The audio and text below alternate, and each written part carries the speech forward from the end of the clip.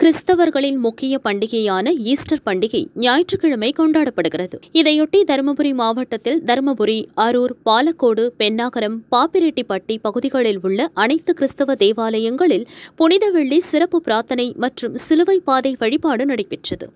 Easter பண்டிகைக்கு முந்தைய ஒரு வாரம் புனித வாரமாக கொண்டாடப்படுகிறது. இதில் புனித வியாழன் புனித வெள்ளியும் அடங்கும். இயேசு சிலுவையில் அறையப்பட்டதை நினைவு கூறும் வகையில் கிறிஸ்தவ தேவாலயங்களில் சிறப்பு பிரார்த்தனைகளும் சிலுவை பாதை வழிபாடுகளும் நடைபெற்றன.